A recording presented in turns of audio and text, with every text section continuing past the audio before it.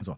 Das liegt aber daran, weil beide Geschlechter eine unterschiedliche Paarungsstrategie haben und deswegen ähm, vermischen das alle, weil, weil wir sind ja alle in dieser romantis also ich zumindest bin in dieser romantisierten Welt aufgewachsen, dass Männer und Frauen, ne, wir sind füreinander geschaffen und wir müssen uns nur finden und dann äh, lebten sie glücklich und zufrieden bis ans Ende ihrer Tage. Ne?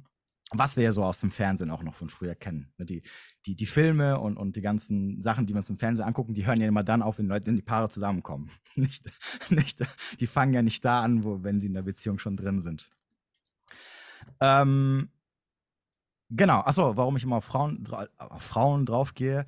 Ähm, wie gesagt, erstens, weil ich natürlich so ein bisschen auf der Männerseite bin und Männer helfen möchte. Aber zweitens, ich, ich finde sehr selten Content von Männern, die irgendwas raushauen, wo du jetzt sagen könntest, hm, das ist jetzt ein bisschen schwierig. Außer es ist irgendwie so Comedy-mäßig, ne? Also wenn Männer sich so einen Fuß raus, raussetzen, auf die Straße setzen, um da ein bisschen Kritik zu üben, dann machen die es auf, auf diese Comedy-Art und Weise, dann, dann, dann geht es noch. Ähm, die, die dann so ein bisschen nicht diese Feinfühligkeit besitzen, die kannst du dann auch nicht so ernst nehmen, weil du dann weißt, ja, hm, weiß ich nicht. Aber es gibt halt viel, viel mehr Content von Frauen, die halt rausgehen und dann halt sich darüber beschweren, dass äh, es immer noch das Patriarchat gibt und dass sie unterdrückt werden, dass sie zu wenig Geld bekommen, dass äh, Männer nicht akzeptieren, dass sie eine Vergangenheit haben, dass die Männer unsicher sind, keine Eier haben, wenn sie nicht akzeptieren, dass bla bla bla bla bla bla bla. Hm. Hallo ihr Lieben und herzlich willkommen zu einem weiteren Gespräch hier auf diesem Kanal. Heute mit Spiros von von dem Kanal Mensch mit Wert. Vielleicht kennt ihr ihn auch eher unter dem Namen, wer ihn jetzt schon kennt. Spiros setzt sich mit der Mann-Frau-Dynamik auseinander und hilft vor allem Männern im Datingleben, was ja vielleicht in den jetzigen Jahren doch etwas verwirrend gerade für Männer sein könnte und hat sich auch intensiv mit der Red Pill auseinandergesetzt. Was das ist, wer das noch nicht kennt, darauf kommen wir heute nach. Hallo Spiros, herzlich willkommen. Schön, dass du da bist. Hallo und vielen lieben Dank für die Einladung. Okay, dann erzähl uns doch einfach mal als erstes, wie bist du auf das Thema Mann-Frau-Dynamik gekommen? Was war dein Weg dahin? Denn als wir uns kennengelernt haben, hattest du dich gerade mit Selbstwert auseinandergesetzt, glaube ich. Ja, mit Persönlichkeitsentwicklung. Das war mhm. eigentlich so mein, wie ich damit angefangen habe, wie ich mich durchmogeln wollte, weil ich nicht von Anfang an so also in diese Dating-Coach-Schiene äh, geschoben werden wollte. Ähm, übrigens, äh, ich helfe nicht nur Männern, sondern auch Frauen. Also fünf, ich habe letztens mal geschaut. Früher war es 70 Prozent, aber das liegt halt daran, weil am Anfang ich durch diese Persönlichkeitsentwicklung mehr Frauen angezogen habe. Mittlerweile ist es 50-50 auf Instagram. Es sind 50,5 sind Frauen und äh, 49, Dings sind Männer. Spannend was ja wohl immer mehr Frauen, die sich zu der ganzen ja, Entwicklungsschiene hingezogen fühlen, würde ich sagen. Ja, ja, also es gibt äh, schon einige, viele Frauen, die äh, mir fast täglich schreiben. Mhm. Äh, positives Feedback natürlich, nicht negatives. Ähm, die auch, ähm, auch oft sagen, dass ähm, ich die Sachen sehr hart rüberbringe und es teilweise sehr weh tut, aber äh, die dann dadurch ein besseres Verständnis halt für, für Männer halt bekommen im Endeffekt. Mhm. Und mit hart rüberbringen ist jetzt wahrscheinlich die Thematik der Red Pill gemeint. Kannst du mal kurz erklären, was man sich darunter verstehen kann? Also du hast ja längere Erklärungsvideos dazu gemacht, aber wer das jetzt noch nie gehört hat, wie könnte Genau, also nochmal, um deine, um deine erste Frage zu beantworten, wie ich äh, von Thema A zu Thema B gekommen bin. Also meine Intention war, ich wollte schon immer mal was mit so Persönlichkeitsentwicklung, Dating machen weil ich in den letzten fünf, sechs Jahren, also bevor ich angefangen habe, gemerkt habe, dass ich das einfach recht gut kann. Also ich kann sehr gut Situationen analysieren und den Leuten genau zeigen, wo die Problematiken jetzt halt da liegen. Also ich hatte im Bekanntenkreis und im Freundeskreis immer, wenn irgendwas war und die mich gefragt haben, ob es jetzt ein Mann oder Frau war, ist egal. Und ich dann halt was dazu gesagt habe, hatte ich, habe ich sehr oft dieses Feedback bekommen, boah, krass, du bist richtig gut, dass du das alles siehst. Mach doch mal was damit. So, und dann habe ich so jahrelang so ein bisschen vor mich hergeschoben.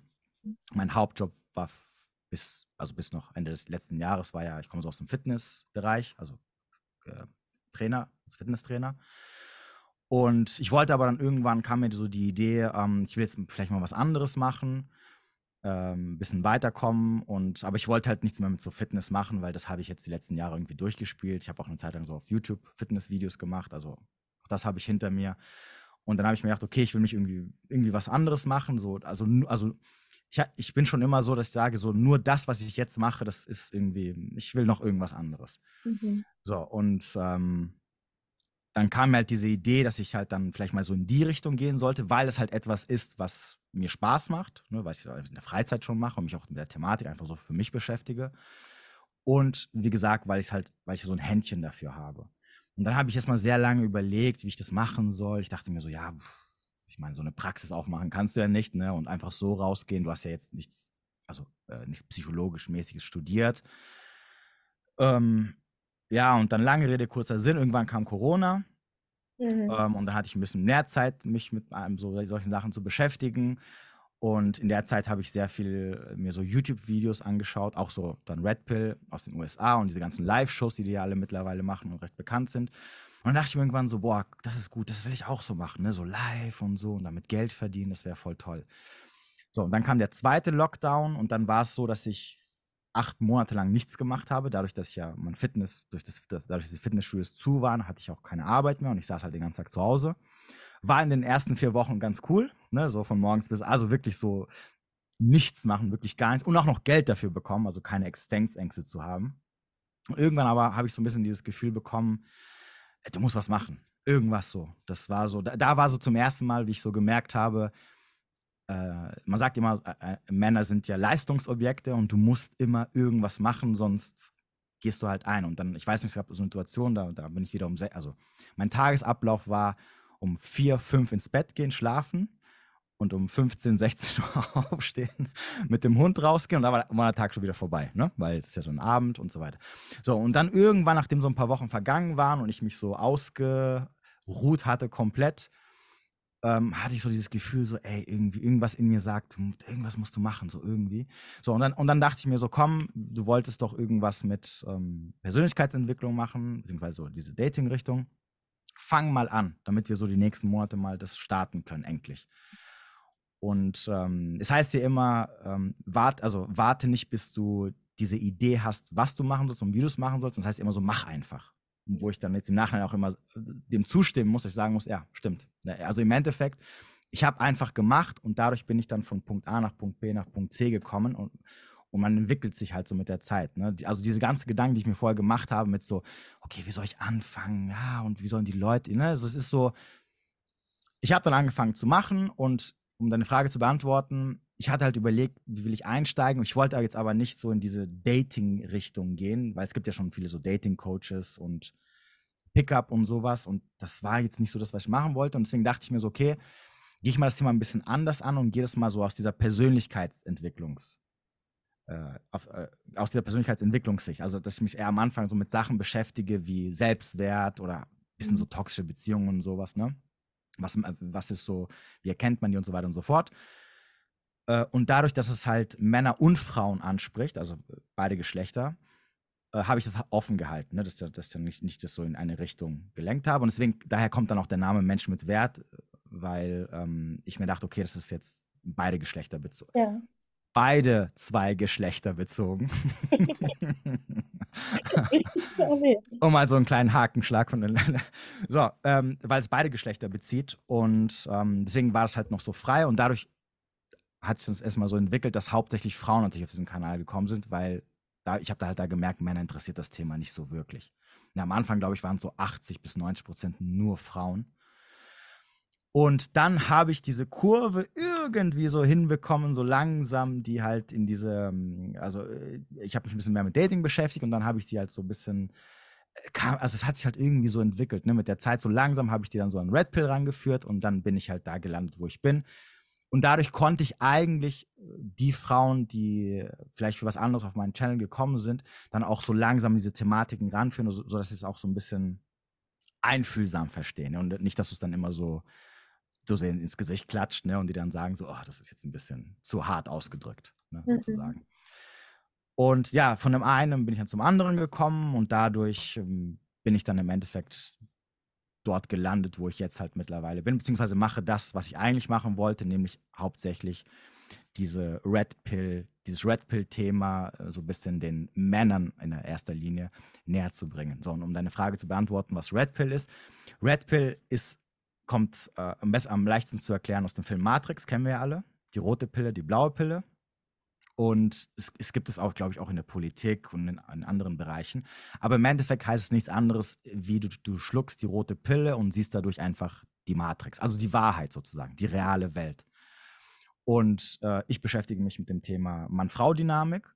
Mhm. Und bei, bei, der Red, also die Red Pill ist eine sogenannte Praxiologie und es geht lediglich darum, durch Studien und Beobachtungen, Fakten und Logik mhm. und Punkte verbinden, die Wahrheit zu sehen.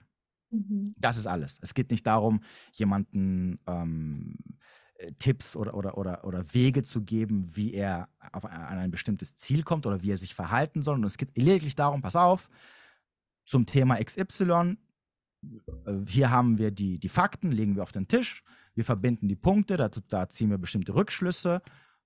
Nimm das und mach jetzt, was du willst damit. So. Mhm. Das ist Red Pill nichts anderes. Ja, ich weiß, heutzutage vermischen das die Leute dann immer mit so anderen Themen wie Dating und, und, und ähm, äh, oder wenn sie sagen so, ja, Red Pill Coaches sagen bla bla, dann denke ich immer so, nee, ab dem Zeitpunkt, wo, also wenn ich jetzt eine Aussage treffe, dann hat das nichts mit Red Pill zu tun, sondern ich treffe sie aufgrund der Tatsachen, die ich, die, die mir Red Pill gezeigt hat und ich dann sage, für mich nehme ich daraus, also ich, ich gucke mir das an und mein Rückschluss ist ABC und entsprechend verhalte ich mich. So, wie sich jemand anderes jetzt verhält oder ob es jemand das auch so sieht oder er sagt, er kann das in seinem Leben integrieren oder nicht integrieren, das ist wieder was anderes. Ähm, ich verfolge, also Roll Tomasi ist ja so ein bisschen der, der Urvater sozusagen der Red Pill, so mehr oder weniger, der das so ein bisschen bekannt gemacht hat. Er hat ja dieses Buch The Rational Mail geschrieben. Und er zum Beispiel, äh, was mir oft sehr auffällt, in seinen Streams oder in seinen Podcasts, die er macht, er versucht es immer sehr oft zu vermeiden, den Leuten Ratschläge zu geben, wie sie sich verhalten sollten. Weil, weil er sagt halt, ähm, was ich aber auch verstehe, jeder führt halt ein komplett anderes Leben und du kannst jemanden nicht ähm, sagen, okay, äh, nur weil wir die Fakten haben, verhalte dich dann bitte so und so. Weil oft ist, also oft wird es nicht funktionieren. Ne? Deswegen, ich lebe, also so wie ich äh, generell mit Frauen umgehe, wie ich Frauen kennenlerne, wie ich mich gegenüber Frauen verhalte, wird vielleicht für andere Männer nicht möglich sein. Aus verschiedenen Gründen. Manche mhm. werden es schwieriger haben, manche werden es einfacher haben. Und da ist es immer sehr schwierig, denen zu sagen, okay, pass auf, ähm, weiß ich nicht, aufgrund von Tatsachen XY date keine Frau mit einem hohen Bodycount. Mhm. Als Beispiel. So. Mhm. Schwierig, wenn du jemanden hast, der generell keine Frauen datet und dann sich sagt, ja, okay, dann date ich gar nichts, weil ich habe ja eh keine Option und so weiter und so fort. Deswegen geht es in der Red Pill lediglich immer um Bewusstsein. Also du sollst ein Bewusstsein bekommen für bestimmte Sachen und das war's. Das heißt nicht, dass du dich nicht auf gewisse Situationen einlassen sollst, ähm, du kannst dich gerne auf all die Sachen einlassen, wo, wo die Fakten dir auf den Tisch sagen, hm, schlechte Entscheidung. Aber solange du sagst, ich habe das Bewusstsein dafür, dass ich mich für etwas entschieden habe und mir sind die Konsequenzen bewusst, ne, weil ich kenne, ich, ich, ich habe die Fakten gesehen, ne? ich, ich habe die Akte gesehen, ich weiß, dass der Kollege hier vorbestraft ist für Klauen. Mhm. Schon fünfmal war er im Knast deswegen, aber ich stelle ihn trotzdem an. Und mir ist aber bewusst, dass, er, dass es vielleicht wieder passieren könnte. Und dann ist es in Ordnung. Mhm. Aber es ist nicht in Ordnung, wenn du sagst, ja, nee, ja, ich habe die, ach, das ist doch Blödsinn. Und dann bist du beklaut und sagst, oh, was? Oh mein Gott, ich bin schockiert. Ne? Das habe ich jetzt nicht gewusst. So, deswegen, Red Pill hört da auf, wo es heißt, hier sind die Fakten, hier liegen sie auf dem Tisch. Äh, wir haben daraus die Punkte zusammen verbunden, daraus ergeben sich folgende Resultate. Bitteschön, mhm. nimm es so mit. Da hast du, jetzt hast du das Wissen, mach jetzt, was du möchtest. Und was du jetzt daraus machst, das hat dann nichts mehr mit Red Pill zu tun. Ja, okay, ich verstehe. Also eigentlich ist der Begriff Red Pill dann auf jede andere Thematik anwendbar und bedeutet einfach aufgrund Wahrheit. Genau, genau, also genau, auf, aufgrund von diesen äh, also Fakten, ähm, Logik und ähm, Studien, also Beobachtungen, hast du so einen Zusammenschnitt und das ist dann, ja, ne, also man nennt es halt Wahrheit, äh, das ist aber genau das, was, ähm, was dann die Red Pill dir nahe bringt, sozusagen. Das war's. Mhm, mhm, mhm. Ja, okay, ich verstehe. Ja, was ich, also de, den Ansatz finde ich so sehr richtig und gut jetzt aus meiner Perspektive, weil so die Realitätsbezogenheit ja oft, du hattest schon im Vorfeld, wo wir geredet haben, gesagt, wir sind in einer sehr romantisierten Welt aufgewachsen, was Beziehungen betrifft. Filme enden dort, wo die wirkliche Beziehung anfängt. Also existiert so ein Bild gar nicht. Nur was ich dann manchmal eben kritisch sehe, wenn aus, wenn das aus so einer vorverurteilenden Sicht gemacht wird, so wie du das jetzt aufgeführt hast, ist das ja alles, es gibt halt bestimmte Dispositionen, daraus kann man was ableiten und man verschließt jetzt nicht die Augen, wie jemand sein könnte, möglicherweise, sondern hat die Punkte verbunden, so wie du es gesagt hast. Ich finde es dann immer schwierig, wenn es ins Vorverurteilen reingeht. Ja, aber, aber, noch, aber dann hat es nichts mehr mit dieser Red Pill zu tun, weil dann ja. haben wir, dann werden, wird es zusammen vermischt mit ähm, Moral, persönliche Gefühle, Ansichten, Emotionen, Meinung oder irgendeine Relativität. Und, und das hat nichts mit der Realität zu tun.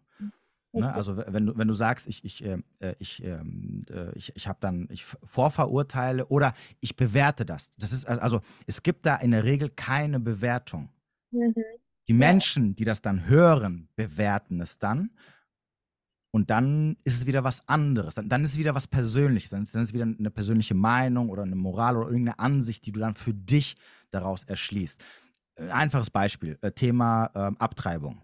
Ja. Na, in der Red Pill heißt es, Abtreibung ist für Frauen nichts anderes wie ein Fail-Safe-Mechanismus. Also sprich, die Frauen haben die Möglichkeit, durch, wenn sie eine falsche Reproduktionswahl treffen, zu sagen, Reset, mach das bitte wieder weg. Ne? Ich gehe wieder zurück, wo, an, wieder zurück an den Anfang.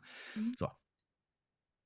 Vorverurteilungsfrei gesagt, also nicht bewertet. Das heißt, weder dass es was Gutes noch was Schlechtes ist. Mhm. Jetzt könntest du sagen, nee, das ist, das ist, also das ist was Gutes, oder du könntest auch sagen, das ist was Schlechtes. Also du könntest deine eigenen Gefühle jetzt da reinbringen oder dein, deine, deine Moral oder Emotionen und sagen, ja, ich finde das nicht gut, dass es so genannt wird und so weiter und so fort. Aber es ändert ja nichts an den Fakt. Ja, das stimmt. Ja? So, ja. Und es, deswegen auch oft, wenn, wenn, mir, wenn, wenn mir Leute dann schreiben, ja, aber so und so, so und so zu bestimmten Sachen, dann sage ich halt, ja, es ist egal, es ist wie es ist, fertig aus. Ne? Mhm. Ob es schlecht oder gut ist, habe ich nicht gesagt. Ne? Ich habe nicht gesagt, ah, das ist Deswegen ist das gut. Und es ist, es ist, das ist die Red Pill, es ist halt einfach so, fertig aus. Mhm. So. Ja. Wenn ja. du das jetzt bewertest, dann hat es aber nichts wieder mit, äh, mit Red Pill zu tun. Aber klar, natürlich, die Leute tun das halt natürlich dann, vor allem wenn sie sich halt nicht damit beschäftigt haben, tun das halt dann so in so, ein, in so eine Schublade stecken und sagen, ja gut, okay, hier, der Typ macht Red Pill, ja, und dann so Red Pill Dating Coach oder sonst irgendwas, die labern dann sonst irgendwas aber es, das, das hat dann nichts mit Red Pill zu tun, sondern hat, also eigentlich müsste es heißen, der Typ oder der Typ mhm. X oder der Influencer X hat dann gesagt, was auch immer er gesagt hat. Und hat weniger was mit diesem Red Pill, weil, weil man versucht es dann auch einfach auch in so eine Ideologie-Richtung zu schieben, was es ja nicht ist. Ne? Es ist, wie gesagt, es, ja. es hört auf mit dem, da ist das, bewertungsfrei, es ist, wie es ist, mhm. fertig. Ne? Ja, ja, ist nachvollziehbar. Wie hat dir das Wissen so in deinem eigenen Leben geholfen? Also gab's, hattest du Schwierigkeiten, auf Frauen zuzugehen? Ich kann mir es kaum vorstellen. Oder du hattest, glaube ich, auch mal gesagt, dass du da jetzt nicht so die Schwierigkeiten hast, Menschen anzusprechen. Ja. Ähm, also mir hat es in erster Linie geholfen, weil ich äh, ein Verständnis dafür bekommen habe, warum gewisse Sachen funktionieren, wie sie funktionieren. Mhm. Ähm, klar, natürlich am Ende des Tages, niemand fängt, fängt nur zum Spaß sich an mit irgendeinem Thema zu beschäftigen, sondern klar, es gibt immer einen gewissen Punkt, wo du sagst, hm, da ecke ich so ein bisschen an oder komme ich nicht weiter. Will ich mich mal ganz kurz ein bisschen umschauen, was es da so gibt.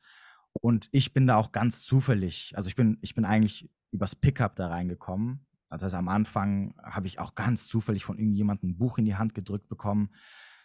Ähm, nicht, weil ich danach gesucht habe, sondern irgendwie hat sich das ergeben. Ich weiß auch, also ich weiß auch nicht mehr warum. Äh, das habe ich dann gelesen. Ich fand es dann super faszinierend, weil ich mir dachte, es war auch das erste Buch in meinem ganzen Leben, was ich verschlungen habe. Ne? Also wirklich, ich, ich bin, ich hasse Lesen. Also Lesen ist so, ich kann mich null konzentrieren. Es gab so eine Zeit lang, wo ich Bücher lesen wollte, aber ich hatte mir, ich glaube, ich fünf oder zehn Bücher gekauft und ich habe nicht eins aufgeschlagen. Ich habe eins mit Ach und Krach noch so irgendwie gelesen, weil es, also es ist, es ist grauenvoll. Und dann irgendwann habe ich mir gedacht, okay, Moment, es gibt ja Hörbücher. Und, dann, und somit habe ich es dann geschafft, sehr viele Bücher zu lesen, äh, also zu hören sozusagen, wenn ich dann immer unterwegs bin und so. Weil dieses Hinhocken und Lesen, das, das, das, das hat null funktioniert. Also ich habe dann wieder auch alle Bücher verkauft, weil ich dachte, so, das, das werde ich niemals lesen. Ähm, und das habe ich verschlungen, aber das habe ich nicht verschlungen, weil ich ähm, in erster Linie, wie gesagt, Probleme hatte und mir gesagt habe, ah, okay, ah, auf das stehen Frauen, sondern weil viele Sachen aus meiner Vergangenheit auf einmal Sinn gemacht haben. Also, Mhm. wo ich gesagt habe, so, ach, deswegen funktioniert, ach, deswegen verhalten sie sich so, ach, deswegen passiert das und das, ach, deswegen werde ich abgelehnt oder ach, deswegen laufen sie mir die ganze Zeit hinterher. Ne, das, das war so ein bisschen mein Aha-Moment, wo ich dachte, ah, krass, okay, jetzt verstehe ich das. Ne, das, das, das ist genau dieser, das ist halt dieser Moment, wo du sagst, ich weiß, dass etwas funktioniert, Mhm. aber ich weiß nicht warum. Ich Mhm. schätze oder, oder irgendwas, irgendwas rede ich mir ein, dass es irgendwie ist. Aber dann kommt jemand und sagt, ey, pass auf, aufgrund von Tatsache A, B und C kommt dann das Verhalten, das Verhalten, das kommt daher, weil so und so. Und dann denkst du dir so, ah, jetzt macht es voll Sinn. Okay. Mhm. Stimmt 100% mit all den Erfahrungen, die ich jetzt erstmal gemacht habe, überein. Dann habe ich mich ein bisschen mehr damit beschäftigt, weil ähm, Pickup ist auch sehr, sehr viel Persönlichkeitsentwicklung. Das hat sehr wenig zu tun mit diesem, wie lege ich jetzt eine Frau flach, es hat eher ein bisschen, also es hat viel mehr damit zu tun, wie du dich als Mann entwickelst. Und der Teil hat mich halt sehr interessiert. Vor allem, was das Thema angeht, ähm, dieses so nicht, so, nicht auf die Fresse fallen. Mhm. Zwar, äh, wenn, also dass du merkst, dass jemand kein Interesse hat, wie du davon wegkommst und so weiter und so fort. Da- Das war so eher das, wo ich mir dachte, da möchte ich besser werden. ne? Das möchte ich verhindern, da möchte ich einfach so ein bisschen mein Game in Anführungsstrichen perfektionieren sozusagen. So, und dann irgendwann bin ich durch Zufall, ich hatte zwar von The Rational Mail oft gehört, dem Buch, ich hatte auch schon mal die Aussage gehört, äh, man sollte aufpassen und sich überlegen, ob man das Buch lesen möchte oder nicht, weil danach die Welt, deine Weltanschauung komplett anders sein wird. Ich dachte mir, also beim ersten Mal dachte ich mir, das ist für ein Blödsinn. Lass ich mal lieber weg.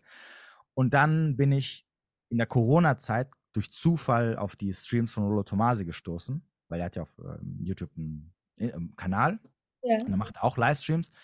Und ich dachte am Anfang so, das ist doch dieser von The Rational Mail. Okay, krass, hat er jetzt auf YouTube. Und dann habe ich so gesehen, so drei, vier Stunden Stream. dachte ich mir so, wer guckt sich das denn an? So, und ähm, lustigerweise habe ich sie mir dann angeguckt, beziehungsweise ich ließ sie nebenbei laufen, während ich dann, dadurch, dass ich ja viel Freizeit hatte, gezockt habe oder so, ne, um ein bisschen meine Zeit zu ähm, überbrücken. Und nebenbei lief das halt, weil ich habe dann irgendwann so Videos angeklickt über so bestimmte Themen, wo ich dachte, so, ah, klingt so interessant, höre ich mal ein bisschen rein. Und dadurch wurde ich halt so nebenbei geredpillt und dann, und da war es halt auch, und da, bei mir, bei mir war es halt immer so, ich höre das und habe immer gesagt, ah krass, ja, ja, oh, macht voll Sinn, oh, ja, stimmt, ja, krass, wieso bin ich selber drauf, äh, warum bin ich selber auf diesen Punkt gekommen? So, und so hat mich das so ein bisschen eingefangen und so hat es immer mehr und mehr das Bild vervollständigt, was aber eh schon immer da war. Das heißt also, ich, ich bin jetzt nicht so dieses, es, es verkauft sich immer gut, ne, wenn man so erzählt, oh ja, früher, da war ich so voll der Loser und keine Frau wollte mit mir schlafen, aber dann habe ich angefangen, ne, und dann kann man damit gut Geld machen. Aber ich hatte nie wirklich Probleme, was Dating angeht. Ähm, ich habe auch nie was Negatives erlebt, weil das ist ja auch so ein Vorwurf, den ich immer, immer wieder, ähm, immer wieder so zugeworfen wird. Irgendeine Frau hat mich ganz schlimm verletzt und jetzt bin ich auf Rachefeldzug sozusagen. Ha also ich hatte nie irgendwas, außer jetzt das, was jetzt natürlich jeder erlebt, wenn er halt datet. Ne, Also, also wenn du datest, dann ist Herzschmerz immer vorprogrammiert. Das ist, das sollte jedem bewusst sein. Ich sage das auch immer wieder zu den Leuten. Wenn ihr keine Lust auf Herz, also das gehört zum Game dazu, wenn ihr keinen Bock auf Herzschmerz habt, wenn ihr keinen Bock auf Liebeskummer habt, lasst das. Dann geht gar nicht erst daten, ne? weil das gehört halt irgendwie immer dazu. Auf, wenn man ein bisschen Ahnung hat, kann man das sicherlich ein bisschen vorbeugen, bis zu einem gewissen Punkt. Aber du kommst nicht drüber hinweg, vor allem wenn du jetzt als Mann sehr viele Frauen kennenlernst, dass du dich auch ab und zu mal verliebst, dass du mal, wenn du auf allem keine Ahnung hast, auf die Fresse fliegst. Aber das sind jetzt so Sachen, wo ich immer, wo ich jetzt sagen würde, das ist halt so was ganz Normales. Das ist jetzt nicht so, also ich hatte noch nie eine Borderlinerin Ex, die mich zum Selbstmord getrieben hat oder irgendeine äh, Mutter mit Kind, die mich manipuliert und ausgebeutet hat äh, oder dass ich äh, irgendwie, ähm, dass, dass ich so eine One-Nitis hatte, wo ich dann ein Jahr lang nicht lebensfähig war oder, oder monatelang nicht lebensfähig. Das hatte ich jetzt nicht. So, deswegen, ähm, bei mir war es eher so, ich fand es interessant, ich bin zufällig drauf gestoßen, dann fand ich es noch interessanter, weil jetzt auf einmal ich die Sachen mir selber erklären konnte und verstehen konnte und deswegen hat es mich dann privat eher, wie gesagt, interessiert und wie gesagt, dadurch, dass auch Persönlichkeitsentwicklung auch so ein riesiges Feld davon ist, ähm, war das so der Punkt, wo ich dann irgendwann mal gesagt habe, okay, da will ich mich ein bisschen näher damit beschäftigen, für mich selber, um ja an mir zu arbeiten oder für mich Regeln zu erschaffen, um, um mir das Dating quasi leichter zu machen, um Probleme zu vermeiden. Das ist ja eigentlich so der Punkt, der eigentlich der wichtigste von allen ist. Zwei Fragen, die sich bei, also mir dabei ergeben. Zum einen hattest du ja gesagt, also was ich genauso sehe, wenn man datet, muss man Herzschmerz, Liebeskummer, all das in Kauf nehmen. Und dann sagtest du, ein bisschen kann man es vielleicht abmildern. Ich frage mich halt, geht es überhaupt darum, Dinge abzumildern? Also ich finde, das gehört ja ein Stück weit, es ist ja ein Unterschied, ob du einfach mal Liebeskummer hast, Herzschmerz empfindest oder ob es dich komplett aus dem Leben herausbeamt. Aber ich denke, zum gewissen Teil gehört halt die intensive Gefühlspalette dazu. Und du kannst dich gar nicht immer vom Leben abschützen durch irgendwelche Regeln oder dass du irgendwelche Fakten kennst, weil dann gibst du ja auch ein Stück weit die Lebendigkeit ab, oder? Ja, mit Abmelder meinte ich jetzt genau das. Also es gibt äh, zwischen Liebeskummer und sich komplett aus dem, aus dem Leben schießen, das meinte ich mit Abmildern. Also wie gesagt, äh, du, ähm, es, gibt, es gibt einfach gewisse Menschen, die, die triggern uns auf einer gewissen Ebene und das führt dazu, dass wir, dass wir uns sehr, sehr stark von denen angezogen fühlen, auch wenn wir nur sie ein, zweimal im Leben treffen oder nur kurz Zeit mit ihnen verbringen. Und wenn die natürlich verschwinden oder wir dafür sorgen, dass sie, dass, dass sie aus unserem Leben verschwinden, weil, sie, weil wir vielleicht merken, die tun uns nicht gut, dann wird das immer dazu führen, dass wir Schmerzen empfinden werden. Ich nenne es einfach mal so. Schmerz und Trauer. Ja. Ähm, mit Abmildern meinte ich, es ist halt ein Unterschied, ob du sehr schnell merkst, oh, der Gegenüber wird mir nicht sehr gut tun, deswegen bleibe ich auf Abstand oder ob du mit 180 ungebremst volle Granate gegen den Baum fährst, ne? Und äh, noch den Gurt noch äh, nicht, äh, nicht äh, dich auch nicht anschnallst und sagst, komm, let's do it, ne? So, egal, wird schon schief. Ähm, nee, nee, also mit Abmeldern meinte ich eher, also komplett dafür, davor schützen kannst du nicht. Du kannst es nur, wie gesagt, wenn du entweder gar nicht datest oder wenn du wirklich ähm, aktiv auf, in dem Fall jetzt Männer, aktiv auf Frauen zugehst, wo du sagst, ähm, ich empfinde da irgendwie nichts für die. Also innerlich bin ich da tot. Und, ähm, aber dann macht es auch natürlich auch keinen Spaß, weil dich dann mit Frauen zu beschäftigen, wo du sagst, da ist gar keine Sympathie da, die mich irgendwie auch verletzen könnte. Ne? Also wie gesagt, wenn auf der einen Seite Sympathie oder Liebe, also wenn, wenn, du eine gewisse Anziehung hast, heißt es auch immer, es wird dich auf eine gewisse Art und Weise verletzen. Ähm, aber abmildern kannst du es nur, wenn du das Bewusstsein dafür hast, auf was du dich einlässt ob du weißt, okay, das könnte für mich gut ausgehen oder nicht gut ausgehen. Also sprich, ob du sagst, okay, ich merke gerade, mein Gegenüber ist emotional nicht verfügbar. Äh, wahrscheinlich wird sie sich nicht für mich entscheiden, also sollte ich das Ganze ein bisschen mit Abstand sehen. Ähm, und es wird wehtun, wenn die Person weg ist, aber es wird jetzt nicht mich aus dem Leben komplett wegschießen, weil das äh, sehe ich auch immer wieder. Äh, ich weiß nicht, ob es bei Frauen genauso ist, aber Männer neigen dazu sehr, sehr ähm, wehleidig ist jetzt das falsche Wort, äh, ist schon in, in, so, einer, in so einem äh, Koma. Hä? Nachtrauern?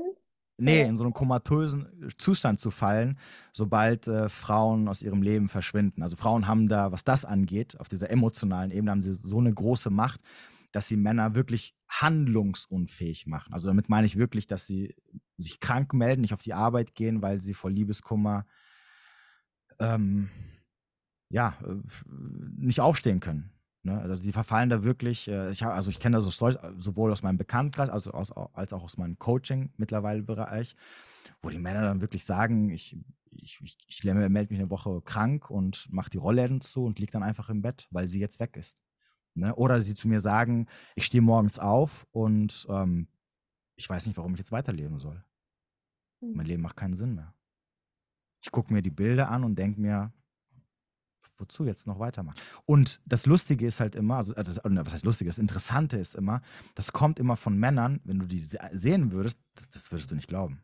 Also attraktive, äh, gut verdienende Typen. Also nicht irgendwelche, wo du sagst, hm, Bro, ich weiß, das wird hart für dich werden, sondern wirklich so Typen, wo du sagst, super aussehender Mann, ich weiß gar nicht, warum der jetzt rumheult. Ne, wegen irgend so einer, die ihn sowieso, also das ist ja auch dann immer die Essenz des Ganzen, die ihn sowieso schlecht behandelt hat am Ende in der Beziehung und wo er sowieso nicht mehr glücklich war.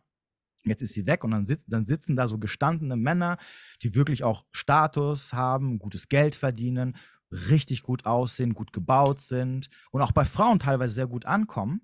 Mhm. Und du denkst so, okay, ne, und die so, ja, Leben ist vorbei, ich, ich das schafft das nicht mehr, ich weiß gar nicht. So, und ähm, das ist für mich so zwischen äh, abmildern, zwischen so, ja, mir geht es gerade ein bisschen schlecht, weil sie ist halt weg und es ist halt kacke und ich fühle mich nicht so gut. Und zwischen, ähm, ich, ich kann sie nicht vergessen. Ich, es wird nie wieder so eine geben wie sie. Mhm. so, das ja. ist halt das Gemüt. Aber wie du schon sagtest, oder wie ich vorhin gesagt habe, ähm, wenn du datest und wenn du sagst, du möchtest rausgehen und Frauen kennenlernen als Mann, dann sei dir immer bewusst, du wirst immer irgendeine treffen, die dich halt triggern wird und spätestens, wenn sie in dir diese Gefühle triggert, also du verliebt bist sozusagen, dann ist das auch immer mit Liebeskummer zusammen äh, ja, zu verbinden. Das lässt sich nicht vermeiden. Aber du musst halt, aber auch das ist wiederum so ein Ding, wo du halt lernen musst, auch damit umzugehen und es auch ertragen zu können. Ne, das ist ja auch das Problem, was viele haben. Also wir neigen ja dazu, vor allem diese negativen Gefühle immer sehr, sehr schnell weghaben zu wollen. Ne, mir geht es gerade schlecht, ich vermisse sie, äh, ich kann teilweise kaum atmen, ne? also so, so, so, so fühle ich mich innerlich. Ich muss irgendwas machen, damit das Gefühl schnell weggeht. Ne? So, ich schreibe ihr oder, oder, oder irgendwas, ne? damit die mir so ein Gefühl gibt, dass es mir wieder besser geht. Anstatt zu sagen, okay, ich, ich halte jetzt mal das Gefühl aus, ne? weil was soll passieren? Also du wirst ja nicht, du wirst ja nicht sterben. Ne? So, im Endeffekt. Und, und, und, und zu lernen, woher kommt das Gefühl, warum vermisst du sie, was vermisst du jetzt eigentlich wirklich, weil da sind wir jetzt wieder auch beim Thema Realität, weil die Realität ist ja, jetzt vor allem in der Thematik, was vermisst du denn? Vermisst eine Frau, die dich nicht mehr liebt? die dich schon seit Wochen wahrscheinlich nicht mehr geliebt hat. Ähm, wahrscheinlich vermisst du irgendeine Zeit, was irgendwann mal war und so weiter und so fort. Ne? Das ist ja das, was du wieder zurückhaben möchtest. Und deswegen weißt du auch, dass das Gefühl, was du gerade hast, nicht die Realität ist. Ne? Also es, es, geht dir nicht schlecht, weil sie dir so gut getan hat, ne? sondern es geht dir eigentlich schlecht, weil du an etwas festhältst zum Beispiel, was gar nicht mehr da ist oder was nur eine Illusion ist mittlerweile. Mhm. So, und dann da sich hinzuhocken und dieses Gefühl zu ertragen, weil irgendwann geht es natürlich auch weg, ist ja klar, es bleibt ja nicht für immer oder stundenlang, äh, suchen wir ja meistens immer da irgendwas, damit dieses Gefühl halt weggeht. Ne? Und das gehört halt auch dazu zu lernen, okay, diese, diese negativen Gefühle, die dann auch da mitkommen, ne? also diesen, der, der, das Aua, was wir dann haben im Gesicht, weil wir eine auf die Fresse gekriegt haben, das auch mal zu ertragen. Ne? Und, und äh, den Schmerz mal ein bisschen, okay, zu genießen, jetzt ein bisschen übertrieben, aber damit einfach umzugehen. Ja. Ja, ich könnte mir vorstellen, weil du gerade, äh, du hattest ja gesagt, ob das Frauen auch so haben. Und ich glaube, so heftigen Liebeskummer, also doch, wird schon geschlechtsübergreifend geben.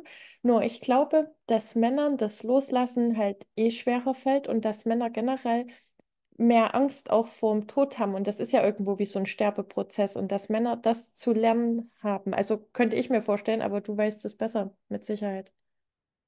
Männer haben mehr Angst vor dem Tod. Ich überlege Ja, glaube ich, glaube ich, weil Frauen ja alleine durch den Zyklus oder durch die, dam also damals hohe Sterblichkeit bei einer Geburt, waren Frauen ein Stück weit so mehr schon, ja, durch ihre Natur, glaube ich, damit konfrontiert. Wobei Männer ja aufs Schlachtfeld gegangen sind, wenn man das jetzt so sieht. Aber ganz am Anfang, als es Menschen gab, gab es ja nicht direkt ein Schlachtfeld und Frauen haben ja den Stirb- und Werteprozess in ihrem Zyklus integriert. Mhm. Ja, kann natürlich sein. Gut, hinzu kommt natürlich auch, dass Männer sehr oft, da wären wir jetzt wieder beim Thema romantisierte Welt, dass wir sehr oft mit diesem Gedanken aufwachsen, ähm, die eine zu finden. Ne, die eine richtige zum Kinderkriegen, zum Heiraten. Und die meisten Männer sind ja jetzt nicht so, dass sie rausgehen und jede Woche eine neue Frau kennenlernen oder, oder tonnenweise Frauen in ihrem Leben haben, wo sie sagen können, okay, ich kann gucken, ich kann dann eine gute Entscheidung treffen, sondern sie nehmen ja meistens so das Erstbeste, was denen über den Weg läuft, wo sie sagen, oh, das, das, ich habe mich gerade schockverliebt, sofort Kinder, Familie, ne, Ehering, let's go, ne? Und dann alle Red Flags, was für Red, ich sehe keine Red Flags, lass mich in Ruhe, ne? so volle Granate drauf. Ja, weil, ja, weil aber halt diese Optionen ähm, einfach generell nicht da sind. Also wir Männer, wir kommen ja optionslos auf die Welt. Wir Männer müssen ja Wert generieren.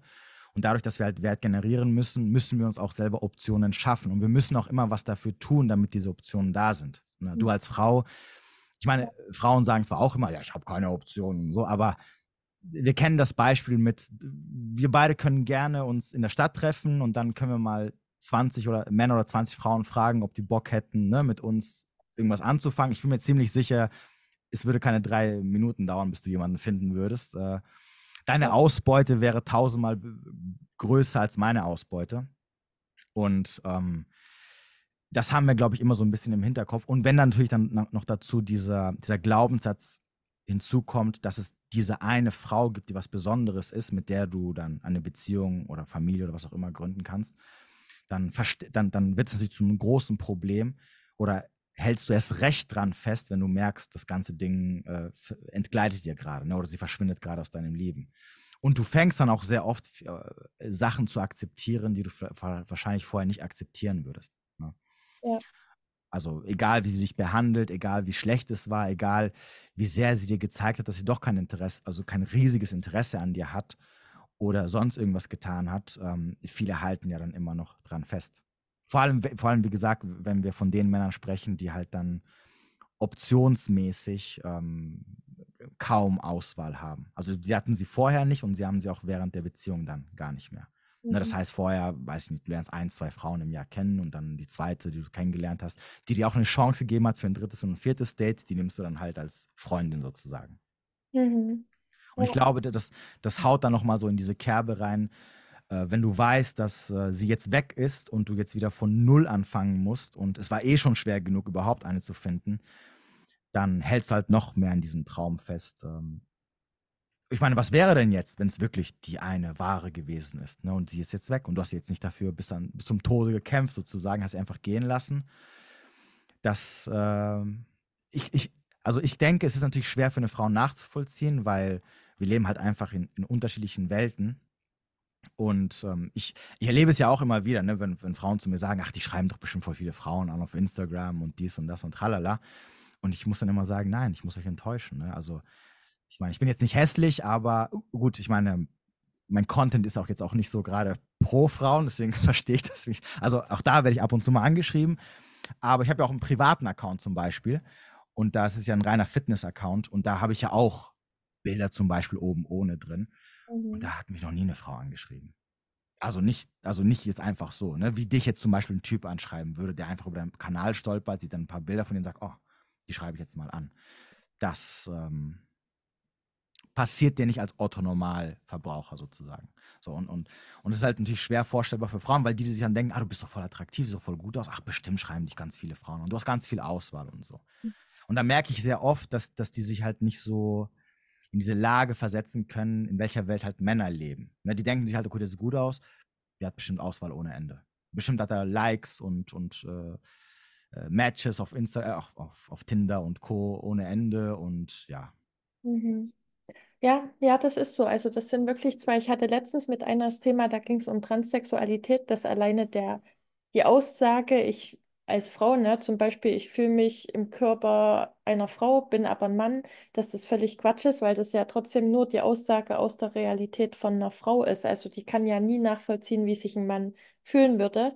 Und umgekehrt, das sind ja nur philosophische Konzepte, aber trotzdem, die Gehirne sind unterschiedlich, also die Realitäten sind ziemlich unterschiedlich. Und ich glaube erst, also so um die Wechseljahre sagt man ja, der ja, das Hormonprofil kippt mhm. oder ja, könnte kippen, beim Mann weniger Testosteron, bei der Frau mehr Testosteron, dass man dann erst so ansatzweise eine Erfahrung von der anderen Seite machen könnte.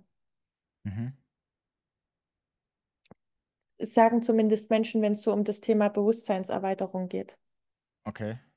Mhm. Ja, gut, aber äh, das Problem ist halt, ähm, als Frau ändert sich ja nichts Großartiges. Also egal wie alt du bist an deinem Date, also sogar eine 40- oder 50-jährige Frau, also gut, Beziehung ist wieder was anderes, aber haben trotzdem noch einen guten Zugang zu Männern, die immer noch äh, gut, Lust haben, mit ihr zu schlafen, wobei jetzt das für Frauen nicht so interessant ist wie jetzt für Männer. Da sind wir schon wieder beim Unterschied. Ne? Ein Mann würde sich freuen, wenn er sich auf, Insta, äh, auf, auf Tinder oder so anmeldet und tausend Frauen liken und sagen, ja, hey, hast du Bock zu vögeln? Ne? So, Frauen sagen sich eher so, uh, ne, so, ja, okay, schön, aber hm, so, ne, nee, lass mal lieber. Ähm, ja. Würdest du sagen, also gerade von Rollo Tomassi, das Buch ist ja relativ neu, also ich weiß jetzt nicht wie, wie lange Zehn Jahre. Zehn Jahre. Okay. Dieses Jahr hat es zehnjähriges Jubiläum, okay. glaube ich. Im Prinzip gab es ja schon immer Handbücher über Männer, Handbücher über Frauen, aber würdest du sagen, dass jetzt die Enttäuschung zwischen den Geschlechtern größer ist? Denn es hat ja begonnen eigentlich so mit dem Emanzipationsprozess, der stark in Richtung Männerhass ne, teilweise ausgeschlagen ist. Aber es gibt ja jetzt auch aus der Bewegung der Männer heraus resultierend wirklich Männer, die Frauen anfangen zu hassen. Ja, ähm, wobei das Buch jetzt, also das Buch selber, äh, The Rational Mail, hat ja äh, nur was mit Dynamiken zu tun. Das ist ja jetzt das, mhm. nochmal, das ist kein, das ist kein Beziehungsratgeber oder Datingratgeber, sondern es ist ein reines Versteh, also das ist eher so drauf ähm, es, es wurde darauf hingearbeitet, dass den, den Mann einen Leitfaden zu geben, wie eine Frau funktioniert, wie sie denkt und was sie tut, wie sie sich verhält, wenn sie einen Mann toll findet oder wie sie sich nicht verhält, wenn sie nicht nennt. Also das, das, dieses Verständnis zu bekommen. Ansonsten, wie du gerade eben gesagt hast, ähm, das große Problem, was wir mittlerweile haben und wahrscheinlich noch weiterhin haben werden, ist, dass was Dating angeht und Beziehungen angeht, wir in so einer Phase sind, die ja die es ja seit, seit tausend oder seit hundert oder doch tausenden von Jahren ja nicht mehr nicht gab. Ne? Also diese Freiheit, die wir haben. Vorher hatten wir ja das Patriarchat, das böse Patriarchat, was äh, uns alle versklavt hat. Übrigens Männer auch, ne? aber das vergessen wir ja. es war jetzt nicht so, dass nur Frauen äh, negative Dings, mhm. Seiten hatten. Also vorher war es ja so, ähm, Beziehung, äh, das Familienkonstrukt wurde ganz groß geschrieben. Das heißt also, du wächst auf, du suchst dir eine Frau als Mann, sie sucht dich aus, passt zusammen, sofort heiraten, Kinder kriegen und jetzt guckt, dass, dass, es, dass es passend gemacht wird und dass ihr für die Kinder da seid und so weiter und so fort. Trennen ist keine Option, weil Gesellschaft sagt dann nicht so gut, ne? gesteinigt und so, lassen wir mal lieber. So, jetzt, jetzt haben wir das Ganze natürlich, also es gab gewisse Regeln, die beide Geschlechter in so eine Schiene reingepresst haben und gesagt haben, ist mir egal, was ihr wollt, so wird das jetzt gemacht, weil das für die Gesellschaft am besten ist. Ne? Also wir wären nicht da, wo wir sind. Die, die, die Städte und die, und die, Gesellschaften wären nicht so gewachsen, wenn das Ganze natürlich nicht durch so ein Konstrukt irgendwie ähm, funktioniert hätte, ganz gut sogar funktioniert hätte. Man romantisiert das Ganze natürlich noch mit Ehe und, und, ne, und Liebe und so weiter, damit das Ganze auch ein bisschen ähm, den Leuten schmackhaft gemacht wird und fertig. So, jetzt, jetzt haben sie natürlich die, die, die, die Zeiten geändert, ne? vor allem, wie du gesagt hast, durch die Emanzipation der Frau, durch die Freiheiten der Frau, dass sie machen kann, was sie möchte, haben sich gewisse Sachen verändert. Vor allem die Tatsache, dass jetzt natürlich niemand da ist, der, der dich zusammenpresst und sagt, das muss jetzt so laufen, ne? auf diese eine Art und Weise. Und dadurch aber, dass die meisten da noch nicht mitgekommen sind, beziehungsweise immer noch in so einer Welt zurückgeblieben sind, also die Welt unserer Großeltern, das ist ja immer so, ne? wenn es immer heißt, ja, früher war alles besser, ne? früher haben Beziehungen noch länger gehalten. Früher hatten ha, unsere Großeltern haben immer, da, immer um, um, die Beziehung gekämpft, ne? wo ich immer sage, ja, sie mussten auch kämpfen, sie hatten keine Wahl. Ne? Also wenn, wenn deine Oma oder dein Opa mit, mit der Frau, dem Mann unzufrieden war, dann, dann hieß es, halt deine Fresse, guck, dass, es dass, dass du glücklich wirst, egal wie, auch wenn es am Ende nur so eine tolle Freundschaft war zwischen euch. Aber ihr bleibt zusammen, ist mir egal, ne? ob, ob ob du ihn noch liebst oder nicht liebst. Ne? Das ist so, was anderes gibt es nicht. So, und, da, und dann natürlich, klar, entwickelst du Strategien und, und, und arbeitest an einer Sache, dass du sagst, da ich ja weiß, dass ich mit dem, mit dem daneben mir, mit dem ich gerade, aufwache und mir denke, so, ach du Scheiße, ne, noch 30 Jahre lang oder wer weiß, wie lange er noch leben wird, zusammenbleiben muss, ähm, wirklich eine Strategie, dass, dass es irgendwie für mich auch angenehm wird. Ne? Und dann irgendwann, wenn ich, wenn ich diese Strategie angepasst habe, sage ich dann, ich bin glücklich mit der Person, ne? weil wir verstehen uns gut, wir sind ein gutes Team, bla bla bla bla bla. So, heute heißt es halt, es passt dir nicht, steh auf und geh. Gibt, warum solltest du noch bleiben? Gibt ja keinen Grund dafür. Und die Problematik kommt halt daher, weil wir noch, äh, noch, die, noch diese gemischte Welten haben von den Leuten, die natürlich in einer Zeit aufgewachsen sind, wo es halt noch hieß, wir kämpfen um unsere Beziehungen, ne? Und, und es, du kennst auch sicherlich diese Bilder von diesen Pärchen, die schon 80 Jahre zusammen sind, ne? Und, oder 60 Jahre. Wo ich immer wieder ab und zu mal, ab und zu, alle Schaltjahre kriege ich mal so ein Ding zugeschickt mit der Frage, glaubst du, das ist heute noch möglich? Ne, so. Mhm. Fragen mich dann so 40-jährige Frauen, wo ich mir denke, so, ja, vielleicht, aber nicht für dich, ne? So, der Zug ist da schon abgefahren. Für 60 Jahre zusammen sein. Ähm, und das führt halt zu, de, zu den Problematiken, dass ähm, dadurch, dass natürlich auch ein gewisses Unverständnis herrscht, wie, wie, also wie die Dynamiken funktionieren und wie dann auch entsprechend das Dating dann halt läuft, wenn halt alles frei ist, führt das natürlich dazu, dass dann halt gewisse Menschengruppen sagen, nee, da habe ich halt keinen Bock drauf. Ne, ich habe keinen Bock drauf, verarscht zu werden oder, oder ähm, auch dieses sogenannte Red Pill Rage, also mhm. dieses so, du, du, du du kommst mit dieser Red Pill in Verbindung und dann kriegst du einen Hass auf die Frauen. Kommt ja auch meistens von den Männern, die halt schlechte Erfahrungen von, mit Frauen gemacht haben, aber die dann die Punkte nicht so, also die Punkte verbinden. Und dann jetzt kommen wir zu der Thematik, was machen die da draus? Die nicht dann sagen, ah, deswegen hat sie mich fünfmal betrogen und mir ein Kuckuckskind untergejubelt und, und, und, und, und, sondern die sagen, guck mal, der hat mich manipuliert, der hat mich verarscht, alle Frauen sind geldgeil, alle Frauen sind hypergam, die hat nur gewartet, bis sie den Erstbesseren gefunden hat, die anderen werden mich auch alle verarschen und so weiter und so fort. Ne? Jetzt wären wir wieder bei der Auslegungssache. Was machst du da draus?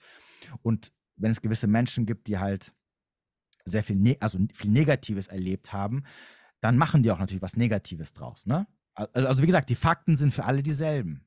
Ne? Ich mhm. weiß auch, dass Frauen hypergam sind. Ich weiß auch, dass Frauen in der Regel immer äh, opportunistisch sind. Also sie, sie, gucken, dass sie mit der bestmöglichen, äh, mit dem bestmöglichen Mann zusammen sind und so weiter und so fort. So. Das ist jetzt aber für mich nichts Negatives. Ich weiß halt, wie das gemeint ist. Ne? Und es, ich weiß auch nicht, dass es gemeint ist, dass äh, sobald sie zufällig irgendjemand, über jemanden über den Weg läuft, der besser sieht äh, als ich, sie dann sagen wird, tschüss und ist dann sofort weg. Ne? So ist es natürlich nicht gemeint. Aber es gibt andere, die sagen, okay, alle Frauen sind eigentlich nur Frauen werden mich eh verarschen, irgendwann verlassen. Bin ich vielleicht alleine besser dran? Mhm. So, aber das ist dann natürlich dann immer wieder so eine Entscheidung, wo ich sage, gut, okay, wenn, wenn du sagst, du willst gar nichts mit, mehr mit Frauen zu tun haben. Ich meine, die Gesellschaft macht es uns auch da als Männer wiederum sehr einfach durch diese, diese Ausgeprägtheit der Pornografie, die wir ja mittlerweile haben und die auch noch schlimmer werden wird. Also allein schon dieses, ja. ähm, diese Metaverse und so, was jetzt kommen wird.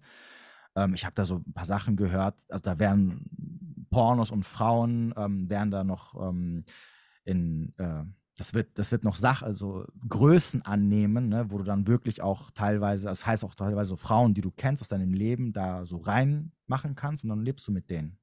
Was? Ja, und die machen dann wirklich auch alles für dich, was du willst. Und äh, hast dann noch Sex mit denen und ähm, ich weiß nicht, ob du schon mal so eine Brille aufhattest, so eine VR-Brille. So. Ich habe ich hab auch immer vorher gedacht, so, was ist ein Blödsinn, eine VR-Brille, ne? Also, das, das ist doch. Aber ich habe mal, ähm, es gibt hier bei uns in Wiesbaden gibt es so eine äh, so ein VR-Studio, die machen so, da kannst du so Spiele spielen. Und da hatte ich mir erstmal so ein Ding an und also Real Talk, du, du, bist in einer anderen Welt. Also du guckst, egal wo du guckst, du siehst deine Hände und so und du denkst, du wärst jetzt äh, in dem Fall in einem Videospiel drin. Aber ähm, man hat es ja jetzt gesehen mit ähm, von Apple, dieses Ding, was da rauskam. Ja, das habe ich mitgeguckt. Ähm, das integriert ja in deine Welt dann äh, Videos und Filme und Programme und Fenster und so. Und du kannst halt, wie gesagt, äh, irgendwann wird es auch Frauen geben und die werden da alle deine Bedürfnisse befriedigen können. Ich meine, es gibt ja, es gibt ja diese, diese Real Dolls, diese Sex Dolls, vielleicht kennst ja. du die? Ja, ja, die, äh, die sind ja, die fühlen sich ja an und sehen ja, also nicht diese, diese aufblasbaren Gummipuppen, die wir früher Nein, nein, hatten. das geht ja bei denen Ja, ja bis zu 5000 Euro hoch. genau, genau, genau. Und ähm, die, die, also die, die sind ja, auch wenn du sie anfasst und so, also heißt es zumindest, es ist wie eine echte Frau. Das Einzige, was sie nicht macht, ist halt reden, ne? So. Mhm. Und ähm, ich bin mir sicher, dass da auch irgendwelche auch Schabernack damit treiben und dann, dass du irgendwelche Gesichter von deiner Nachbarin oder von, irgendein, von irgendeinem, die du dich verliebt hast, ne, hoffnungslos, Ja. sagst, okay, bekomme ich nicht, aber lass ich sie halt anfertigen. Und das reicht ja, um, um Männer halt am Ende zu befriedigen oder sie halt ähm, stillzuhalten, sodass sie sich auch vom Datingleben rausziehen können und sagen können, ja gut, okay, bevor ich hier wieder mit Schmerzen mich konfrontieren muss am Ende des Tages, weil alle Frauen eh nur hypergame sind, die mich verarschen werden und nur Geldgeil hinter meinem Geld her sind, ähm, hole ich meinen runter, habe meine Ruhe und fertig aus. Mhm. Ja, also ich sehe die Richtung auch kritisch. Ich hatte jetzt mal einen Artikel von einer Frau gelesen, die dann irgendwie sich ihren virtuellen Chatpartner, also irgendwie konnte die sich da Oh, ihren ja, ja, ja, Mann ja. dann, äh, mit dem verheiratet hat und dann aber ja weiß, wenn das Programm gelöscht wird, oder da war ja schon sogar datiert, wann das gelöscht wird, äh, wo sie dann sagte, dann will sie nicht mehr weiterleben. Ja, lustig, genau. Da, da habe ich auch vor, vor einer oder vor zwei Wochen im Radio, äh, kennst du den Film She? Nee, ich glaube nicht. Ich kann mir aber Namen Äh, immer schwer merken. du kannst was? Ich kann mir Namen, äh, Filmtitel nicht merken. Okay, ähm, das ist der Film mit, äh, wer hat nochmal, äh, mit Joaquin Phoenix, kennst du aber den Schauspieler? Ja, den Doch. kenne ich. So, und der, der, das ist so ein Film, da, ähm, der ist auch so ein einsamer Single Mhm. und der bekommt so ein KI-Programm, es wird so irgendwie neu erfunden, wo äh, er eine, eine virtuelle Freundin hat, die sieht er nicht, er hört nur ihre Stimme die ganze Zeit und die passt sich irgendwie ihm an und irgendwann verliebt er sich in die und lebt dann so quasi in so einer Beziehung mit der. Also richtig krass. Und ich habe letztens im Radio äh, gehört, dass da jetzt auch mittlerweile so ein Programm rauskommt, wo ganz genau das, du, du, du hast so einen virtuellen Partner, den du dir erschaffen kannst, Ja. den du so gestalten kannst, wie du gerne hättest. Und, und der passt sich dir an und der benimmt sich auch dann wirklich wie so ein richtiger Mann oder eine richtige Frau. Ja, genau. Äh, die hatte dann so geschrieben, sie hat noch nie so schöne Textnachrichten erhalten und er wüsste immer genau, was sie lesen möchte. Und warum sollte sie dann weiter in der Realität suchen, weil er schreibt ihr genau das, was sie schon immer hören wollte. Ja, und ich glaube, also ich meine, ich, ich weiß nicht, wie es für dich anhört, aber ich denke mir halt immer so, gut, aber du weißt halt, dass es halt, es ist, es ist halt am Ende ein Film, eine Puppe, äh, ein, ein KI äh, oder wie auch immer man das nennt. Es ist ja nichts Echtes. Ne? Äh, wie kann ich das irgendwie glücklich machen, wenn du weißt, also ich denke halt immer so, ich, solange ich die Person nicht anfassen kann, bringt mir das nichts. Ne? Ich bin auch nicht so ein Strip, so ein Stripclub-Fan, weil ich mir denke, so. Aber ich glaube, wenn du irgendwann so, ich weiß nicht, ob verzweifelt jetzt das richtige Wort wäre, aber wenn du irgendwann an so einem Punkt bist, wo du sagst, ich sehe da keine Chance mehr für mich, also ich, ich sehe da kein Land, dass du dich wahrscheinlich auch mit sowas zufrieden gibst. Naja, extrem verletzte Menschen. Ne? Also du, du merkst, es sind ja immer mehr Menschen sehr stark verletzt, ob jetzt in der Kindheit oder auch so die heranwachsende Generation jetzt. Das ist ja ein immer größeres Thema. Und ich glaube, je größer die Verletzung, umso stärker die Tendenz dann, sich zu sagen, ich will nie wieder verletzt werden oder von dem oder von ihr höre ich alles, was ich hören will.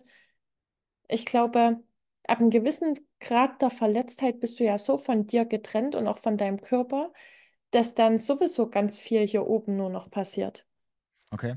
Ja, ist interessant, weil ich bin da eher so jemand, der, äh, ja, wie schon gesagt, ne, also ich meine, ich wurde auch oft verletzt, also verletzt in Anführungsstrichen im Leben, aber ich bin eher so jemand, der dann, der dann herausfinden möchte, wie er das Problem löst. Na, also nicht, also nicht indem er sich sagt, ich ziehe mich da vor, also ich gehe da gar nicht mehr hin, ne, so ich, ich, ich meide diesen Ort, sondern es geht, ich denke mir immer so, okay, wie kann ich trotzdem da bleiben?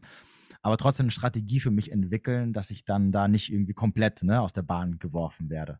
Also wie kann ich an mir arbeiten, um weiterhin da präsent zu sein und das zu bekommen, was ich natürlich möchte, also Frauen im Endeffekt, aber ohne halt dann komplett äh, K.O. jedes Mal geprügelt zu werden. Genau. Wo dann ja. andere wahrscheinlich sagen, nee, habe ich keinen Bock drauf, meine Strategie ist halt einfach, ich verlasse den Ort und ich komme da einfach gar nicht mehr hin und ist mir scheißegal. Ja, nee, ich glaube, dann hast du wahrscheinlich auch das sehr an deiner Persönlichkeit ausgeprägt. Also ich denke schon, je nachdem, wie dann, dann kommt bestimmt noch Persönlichkeit mit rein oder jeder Mensch hat eine andere Sollbruchstelle. Also ich kann, auch wenn ich es extrem krank finde, ich kann es trotzdem ein Stück weit nachvollziehen, wenn Menschen das machen, einfach weil ich mir vorstellen kann, wie es irgendwie entstanden ist. Aber ich finde es extrem, also extrem heftig, die Entwicklung. Ja, absolut. Also, und ich meine, es ist ja auch, es ist ja so ein Prozess, der dann auch langsam stattfindet. Ich meine, ich, ich kenne das ja auch aus meinem Bekanntenkreis. Ich habe ja auch so, oder ich hatte auch früher so Freunde, also männliche Freunde jetzt, ähm, die auch irgendwann in so einem, äh, in so eine Bahn gerutscht sind, wo sie dann wirklich ähm, nichts mehr mit Frauen zu tun hatten und wirklich nur durch Pornos und gute Prostituierten teilweise da ihre, ihr Sexproblem gelöst haben und die dann wirklich jahrelang keine einzige Frau gedatet haben. Gut, klar, natürlich, weil sie auch aus ihrem Leben nichts gemacht haben, aber mhm. und dessen, ähm, es, bef es, befriedigt dich halt. Ne? Ist, ja. Auch das ist natürlich immer sehr schwer für Frauen verständlich.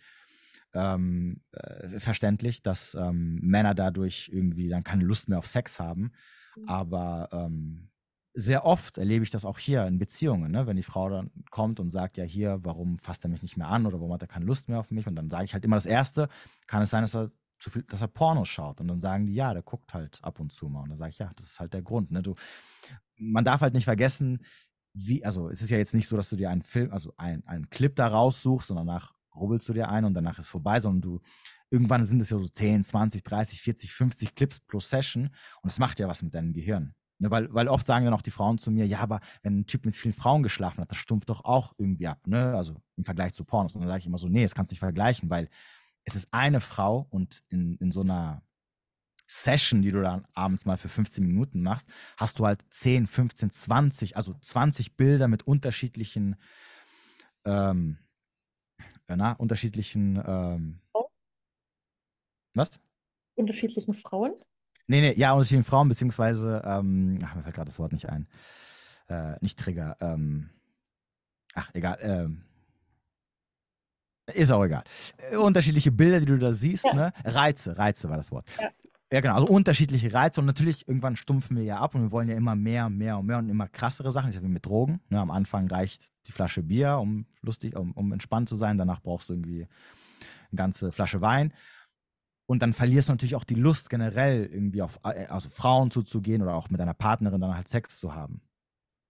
Und das sorgt halt dafür, dass dann Männer sich dann, also zumindest für Männer ist da ganz gut gesorgt, dass wenn sie merken, okay, im Dating ist schwierig oder läuft nicht, dann kann ich mich auf eine andere Art und Weise, kann ich das befriedigen, was ich eigentlich so ein bisschen haben möchte. Für Frauen ist es viel, viel schwieriger, ne? weil Frauen, Frauen kannst du nicht sagen, ja, hier komm, geh da hin und dann hast du Pornos mit 18, mit, mit 30 verschiedenen Titeln, mit 30 verschiedenen Kategorien, such dir was aus, auf was du Bock hast. Ist schon lustig. Ne? Deswegen, Ja, äh, ja? Ich sag du. Nee, ich wollte nur sagen, äh, Frauen gucken sich auch viel seltener solche Filme an und vor allem gibt es auch nicht diese ganzen Kategorien dann halt für Frauen. Ja, bei Frauen, da ist wieder, also das Internet hat wirklich für jeden eine Lösung. Also wirklich, das Internet hat es wirklich geschafft, so gut und wie und praktisch das natürlich ist für Vernetzung und Sichtbarmachen und so weiter und so fort. Trotzdem hat es eine, wenn du das Werkzeug Internet nicht richtig nutzt, entfremdet es dich von dir. Und bei Frauen greift dann das mit dem Schreiben.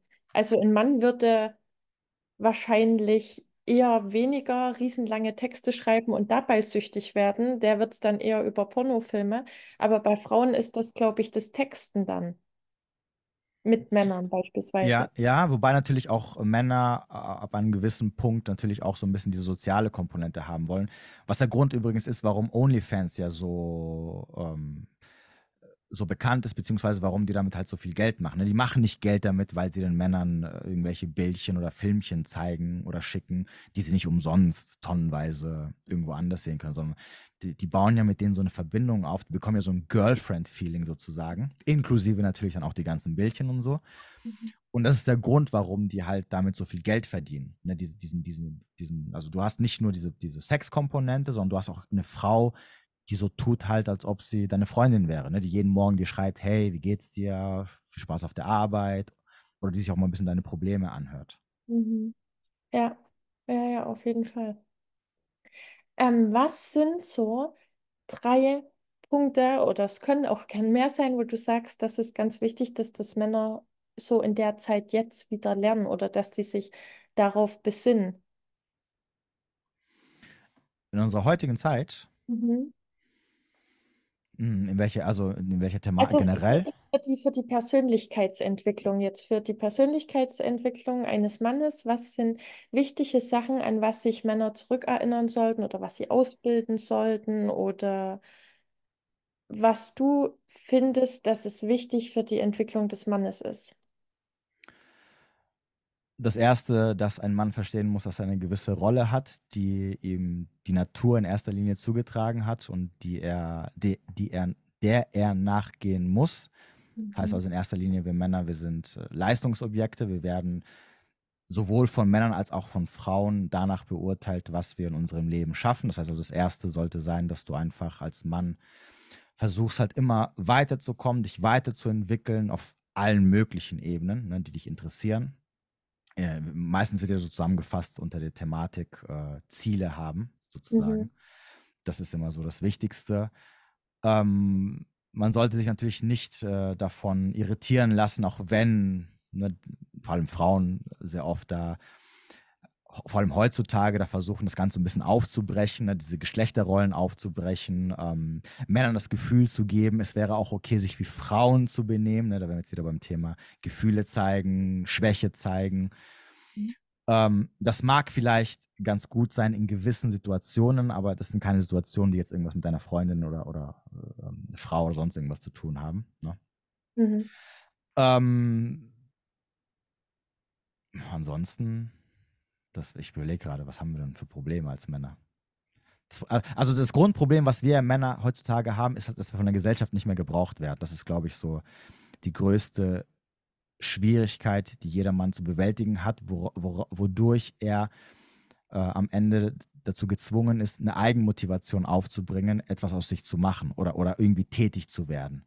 Mhm. Dadurch, dass Frauen ja mittlerweile auch vieles, all das machen können, was Männer früher für sie gemacht haben, ist ja der Mann eigentlich so mehr oder weniger nutzlos geworden. Und Männer, die halt nicht, und, und dadurch, dass Männer halt gebraucht werden müssen, weil sie irgendwie auch so ein Gebrauchsobjekt sind, ne, Nutzobjekt, um es jetzt ein bisschen plastisch äh, darzustellen, neigen sie dann dazu zu sagen, gut, ich werde nicht gebraucht, also lehne ich mich zurück und mache halt gar nichts. Was man mhm. ja auch sehr schön sieht in den ganzen, es gibt diese Studien, die sich ja damit befassen, äh, Hochschulabsolventen und äh, welche Geschlechter eher einen Abschluss machen. Und da sieht man ja, dass Frauen da eher so führend sind, was mhm. das angeht. Was dadurch, äh, was aber daher kommt, dass halt Männer einfach keinen Sinn darin sehen, da großartig in ihr Leben zu investieren. Ne? Wenn du am Ende Frauen hast, die für sich selber sorgen können, die sich selber beschützen können, die sagen können, ich brauche eigentlich keinen Mann, mhm. warum solltest du dir dann noch Mühe geben, ähm, etwas aus dir zu machen, weil du zum Beispiel wie unsere, wie unsere Vorfahren oder unsere Großeltern, weil du weißt, okay, ich habe Frau und Kind zu Hause, ich muss die versorgen können. Ne? Oder, oder ich habe noch keins, aber ich möchte eins haben demnächst, also muss ich was machen, damit ich in zwei, drei, vier Jahren, wenn ich dann eine Familie habe, sie versorgen kann.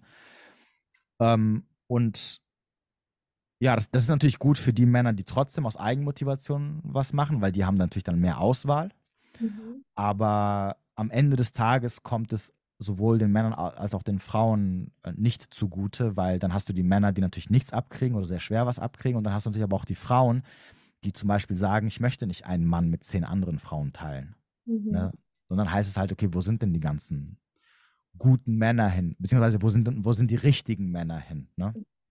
Na, die Frage ist, also an und für sich, es wird ja von, von Medien wird es ja immer wieder so suggeriert, dass der Mann eigentlich überflüssig sind und die Witze über, naja, Männer ähm, sind ja doch recht populär. Aber ich verstehe den Grundgedanken halt nicht so ganz, denn aus meiner Perspektive sind, werden ja Männer genauso noch gebraucht wie vorher oder das zeigt sich ja auch überall, dass es eben so ist. Vielleicht nur, vielleicht ist das zwanghafte Brauchen nur irgendwo weg. Weil, die Gesellschaft jetzt eine andere ist. Vorher zwanghaftes Brauchen ist ja zum Beispiel zum Sichern der Grenzen oder zum Versorgen oder ähnliches. Und jetzt ist trotzdem das Brauchen noch da, weil männliche Qualitäten genauso wichtig sind, aber das Zwanghafte vielleicht weg. Ja gut, aber die männlichen Qualitäten, auch wenn die wichtig sind, werden ja nicht mehr gefördert. Ich frage ja, dich mal was. Was, was, was. Wenn ich dich jetzt frage, was gibt es denn heute mhm. für männliche Vorbilder, wo du sagen würdest, die, die und die und die Personen fallen mir jetzt ein, wo ich sagen würde, das ist so, ja, der Urgedanke des Mannes, des Maskulin, das fällt mir jetzt sofort ein, wo ich sagen würde, da würde ich äh, jetzt verstehen, dass da die Jungs von heute oder die Jugend von heute sagen, boah, das ist so Vorbild. Ja, schwierig. Da würde ich wirklich so 50 Jahre aufwärts gehen. Dort würden mir dann Vorbilder einfallen. Also wahrscheinlich noch, noch. Wer denn? das ist jetzt schon ganz weit. Also Arnold Schwarzenegger hat mir immer sehr gut. Ja, ja, ja, ja, aber, aber, aber die, die, sind ja jetzt, die sind ja jetzt weg. Das sind ja, das sind jetzt keine, also unsere. Vorbilder, aus, also aus unserer Zeit, das ist mir letztens aufgefallen, als mich jemand gefragt hat, was hast du, was hast du früher für Filme geschaut? Und dann dachte ich mir so, habe ich aufgesagt, ich mir so, krass, ich hatte so viele so, also so Männer, ne, wo du, ich meine, es sind jetzt Rollen, die die gespielt haben, aber trotzdem, ich meine, klar gibt es heutzutage auch ab und zu mal vielleicht mal so eine Rolle, wo du sagst, ah, hat mhm. jetzt jemand einen Mann gespielt, aber das sind halt nur Schauspieler, die jetzt nur in dem Moment in dieser Rolle sind. Aber wie du gesagt hast, ne, also du wusstest, ein Schwarzenegger-Film, das ist immer so mit Muskeln und, und so, ne, und Kraft und dumm und so, so Sprüche. Oder Stallone oder Van Damme oder ne, das waren so immer so, wo du als, als, als, als junger Mann gesagt hast, so, boah, ich will so in die Richtung gehen, ne? Oder du hattest auch, oder du hattest halt auch so andere, äh, so Bud Spencer und Terence Hill. Das müssen jetzt nicht immer diese, diese Testosteron geladenen Dings sein, aber du hattest schon so diese, diese Figuren, wo du sagst, boah, das ist so männlich, das ist so kämpfen und das, ne? was, was so Männer halt ausmacht. Also heute haben wir, ich meine, es ist also ich meine, die, die, die von vorher, die leben ja immer noch, aber die, die, die, haben ja keinen, die sind ja in der Gesellschaft jetzt nicht mehr großartig. Ähm, was macht denn noch Arnold Schwarzenegger? Also die letzten Filme, die ich jetzt von ihm gesehen habe, da, da, der ist auch komplett durchgeweicht, ne? Also das ja, ist jetzt nicht mehr so das von früher. Und ähm, ansonsten sind es jetzt nur so Nebendarsteller, die hatten ja schon ihre Zeit. Aber wenn du jetzt mal dich so fragen würdest, wer ist denn so, der dir aufpoppt, wo du sagst, ja, das ist, das ist noch so jemand, wo man sagen kann, das ist ein richtiger Mann? Nee, gebe ich dir völlig recht. Also die, die Filme haben ja auch, weil du gerade gesagt hast, früher gab es so Filme, die so das männliche Ideal irgendwo verkörpert haben. Die Filme haben ja auch an Heldencharakter verloren. Ich glaube, die waren echt hoch inspirierend für Jungs damals gewesen, wirklich irgendwie was mit sich anzufangen oder anfangen zu trainieren und dann wirklich richtig zu trainieren, Kampfsport zu machen, was auch immer. Dass der Power oder der Antrieb, der da da war, der Vibe, der da mitge in den Film geflossen ist, der ist weg. Aber Ja, weil es ja, weil's heutzutage toxisch ist. Also sobald du so Filme siehst, wo sowas so ein bisschen ne, in die Richtung geht, dann heißt es immer so, ja, diese toxische Männlichkeit, die dann so gezei gezeigt worden ist. Ähm, genau, es, deswegen war es ja auch für Andrew Tate so einfach, ähm, so, so viel Fame oder so, so, so einen Zuspruch zu bekommen, weil er halt auch keine Konkurrenz hatte. Also wenn er vor, ich glaube, wenn er vor 40 Jahren irgendwie aufgeploppt wäre, hätte, hätte es niemanden interessiert. Also es wäre so eine Figur unter vielen gewesen. Aber dadurch, dass er halt jetzt nicht so wirklich viel Konkurrenz hatte, was so, was so Männlichkeit angeht, was also jetzt, was jetzt so männliche Präsenz angeht, war es halt so einfach für ihn, da so viele Männer zu begeistern. ja, weil er sehr charismatisch war in dem.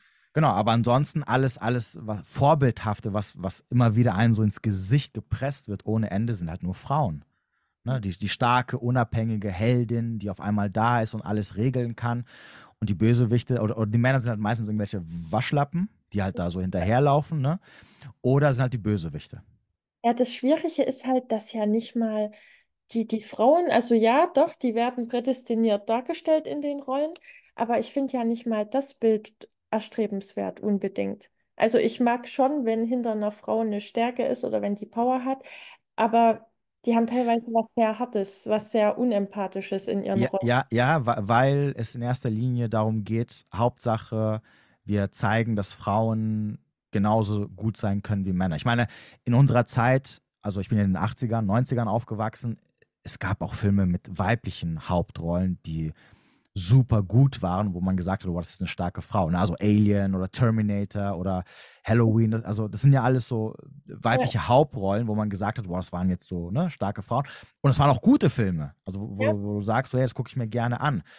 Also heute muss ich bei 95, also bei fast 99 Prozent immer den Kopf schütteln, weil ich mir, weil, weil ich aber auch weiß, okay, da ist eine Agenda, da wird mir gerade was, was so reingedrückt. Ne? Sie muss schwarz sein, sie muss eine Lesbe sein, ja, ähm, sie, sie, sie dominiert, also sie lässt sich von niemandem was sagen, ne? sie, sie lässt irgendwelche Patriarchatsprüche raus, ne? so, so nach dem, ja, das, das, genau, das, und das nervt halt, ne? weil du auch, weil, weil du dann, ähm, weil du, äh, weil es dir dann auch so ein bisschen die Laune vermisst, jedes Mal, wenn du halt so einen Film guckst und du, und du merkst so, ah, der geht in eine gute Richtung und dann kommt so von der Seite irgendwas, wo du sagst so, ja.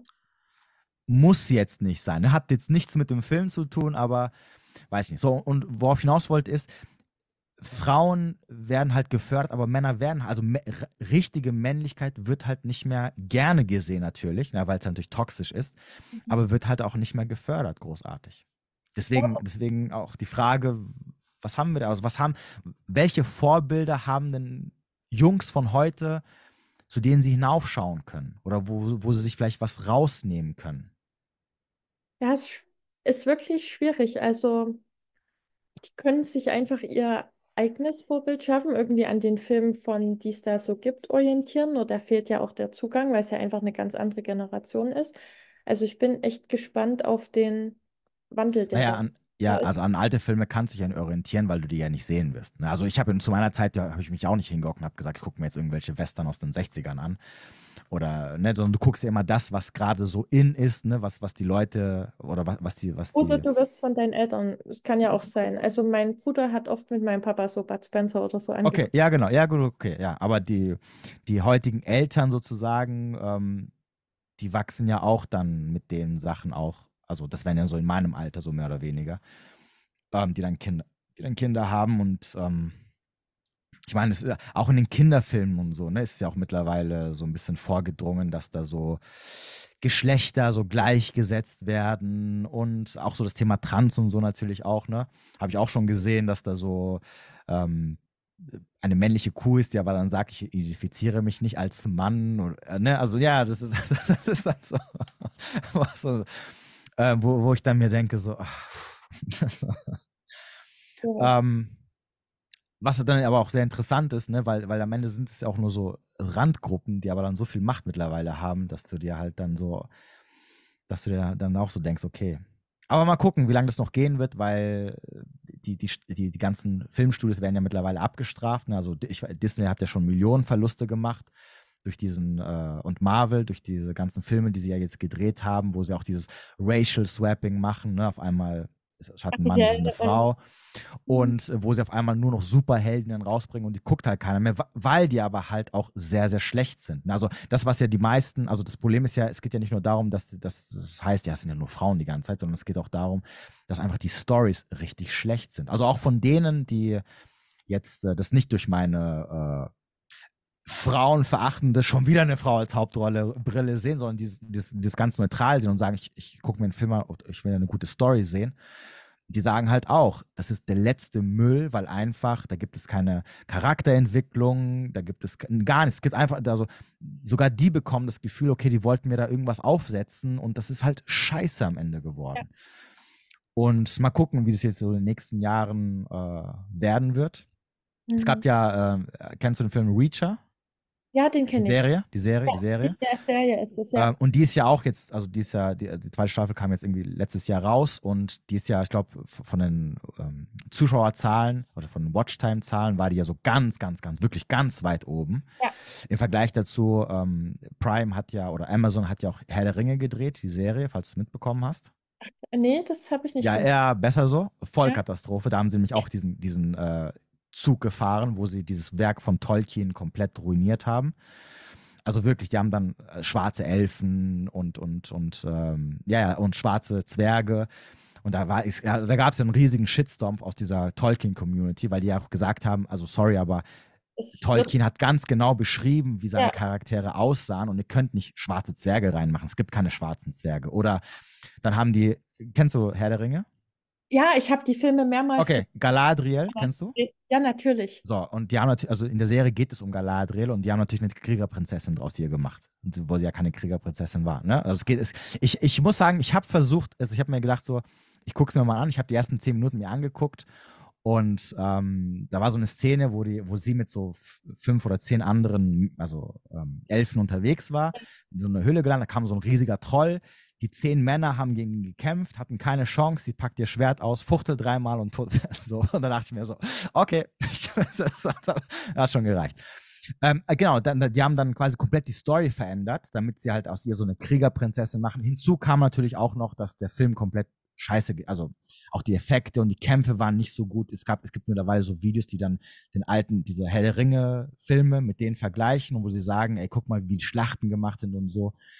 War, war, und der Film hat eine Milliarde äh, verschlungen für Prime, ja, für Amazon. Also Bezos hat da eine Milliarde reingedrückt und er war halt ein mega Flop. Und er war so ein Flop, dass sie am Anfang, äh, du weißt, du kennst auch IMDb, ja. In Internet, genau. Und die haben am Anfang die Leute gesperrt, damit sie keine, ähm, also jeder, der, der, der mehr als, der unter fünf, also der, der wenige Sterne verteilt hat, den haben sie sofort gelöscht weil sie halt gesagt haben, ihr könnt nicht so wenig Sterne verteilen, ohne Film erst vorher gesehen zu haben. Ne? Weil natürlich sie wussten, der Hass der Community ist halt gigantisch, weil die halt sein Werk ruiniert haben, weil sie auch, weil dann sind die Schauspieler rausgekommen, die haben gesagt, ja, Tolkien zu einer Zeit, rassistisch und Cis-Mann und wir haben das Werk, so wie es heute geschrieben hätte, haben die es gemacht.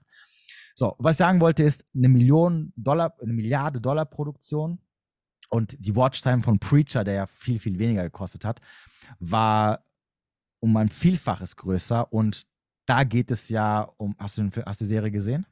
Nur so, also ich habe okay. die erste und die zweite angeguckt, also ähm, Okay, dann weißt du, es geht um einen großen, starken, maskulinen, ja. Proleten, macho-mäßigen Typen und ähm, ja, also da merkst du halt, was die Leute halt sehen wollen. Ne? Da geht es so ein bisschen um Story, ne? dieses übertriebene Maskuline, das feiern auch äh, voll viele und äh, worauf ich hinaus wollte, ist, jemand hat mal gesagt, war auch ein guter Satz, er hat gemeint, an sich ist die Serie nicht wirklich gut. Also ist jetzt nicht so, dass man sagt, so richtig geil, aber dadurch, dass du halt in den letzten Jahren so viel Schrott gekriegt hast, also war es so einfach, dass die da halt so ein bisschen raus sich kristallisiert und die Leute sagen, ah, endlich mal wieder, ne, einfach so endlich mal wieder so ein guter aussehender Mann mit fetten Muskeln, der einfach nur den Leuten sinnlos auf die Fresse haut und dumme Sprüche lässt die ganze Zeit. Natürlich haben die auch so ein paar weibliche Sidekicks reingemacht, die natürlich auch ihre Boss-Babe. Aber das, das sind dann so Filme, wo ich sage, man kann nur drüber hinwegschauen. Ne? Das ist so, äh, ich glaube, äh, Peacemaker war Ja. auch so eine Serie mit John Cena. Ich Mhm. weiß nicht, ob du die gesehen hast, aber die war auch ganz gut. Aber die mussten natürlich dann ihm eine Frau an die Seite stellen, also eine FBI-Agentin, die natürlich eine, eine übergewichtige, fette, schwarze Lesbe war. die natürlich auch, äh, am Anfang sagte sie sogar, ich, ich mit Waffen, ich möchte damit nichts zu tun haben. Und dann so mittendrin nimmt sie so eine Pistole und fängt an, irgendwie alle abzuballern, wo ich mir denke, so, hä, das macht überhaupt keinen Sinn, aber ist auch egal. Aber da konnte, also das, darüber kannst du noch hinwegschauen, weil dann ist immer noch der Hauptcharakter ein Mann und das ist auch noch ganz lustig und so. Ähm, aber es liegt halt daran, weil du halt so viel Schrott halt immer um die, Ohr, um die Ohren äh, geworfen bekommst, wo halt am Ende es nicht um eine gute Story geht und, und eine gute Charakterentwicklung. Wie gesagt, um das Geschlecht geht es nicht, sondern es geht einfach darum zu sagen, ey, Frauen, Frauen in Filmen müssen immer stark dargestellt werden. Ja? Sie müssen immer die Schlauen sein und, und wenn sie nicht können, dann werden, sie, dann werden sie immer von den Männern unterdrückt. Und das ist halt alles so toxisch. So, und, und dadurch, dass wir uns nur so auf die Frauen konzentrieren, bleiben natürlich die Männer auf der Strecke. Und, und nochmal, die Frage ist, an was sollen, sie dich, an sollen sich denn die Jungs von heute orientieren? Ja, das ist, also du hast es ja selber gesagt, letztlich ist es Geschlecht egal, es ist die Farbe, es ist letztlich alles egal, wenn die, die Charakterentwicklung drin ist, wenn es irgendwo Sinn macht und nicht einfach nur eine Ideologie da verfilmt wird. Und das ist der, Char der Charakter von den Filmen oder auch das Niveau von den Filmen wird immer flacher. Und wie du schon sagst, Ja, Jungs haben keine Inspiration mehr. Und um erstmal so das Männliche überhaupt kennenzulernen, also ich bin nie ein Junge gewesen, aber ich könnte mir schon vorstellen, dass wenn du so dann die Entwicklung hast als Junge, dass es für dich erstmal ganz wichtig ist, so das Rohe oder ein Junge greift automatisch zur Waffe. Also das habe ich bei meinem kleinen Bruder gesehen. Meine Mama wollte das erst nicht so. Ähm, hat er auch gesagt, nee, und sind noch drei ähm, Mädels als Geschwister.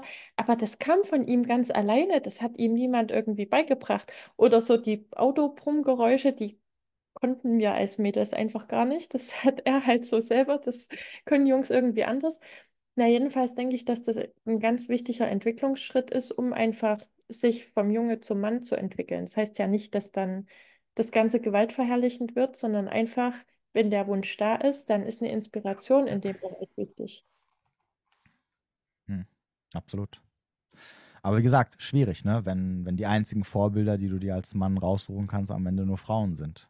Ne? Die, Ja. die halt dann irgendwie, ja, die erzählen wollen, was halt am Ende männlich ist und die, die, die dir dann erzählen, was wirklich am Ende männlich ist, so mehr oder weniger, die werden dann halt am Ende verteufelt, ne? weil die dann halt, ja, Ja. toxisch männlich sind, sozusagen. Um nochmal ganz kurz zu Rollo Tomassi, beziehungsweise dem, was er, das habe ich ja bei dir so mitgekriegt, dass er da ja eigentlich auch so Regeln geschrieben hat. Mhm. Denn du zitierst da ja immer mal was. Bezieht er in sein Buch, es heißt ja schon Rational, also, oder? Rational, Mhm. hat Ja. Ja, genau, Rational. Scheint es so, als ob er ja tatsächlich auf der Verstandesebene bleiben würde, beziehungsweise auch noch so den biologischen Aspekt.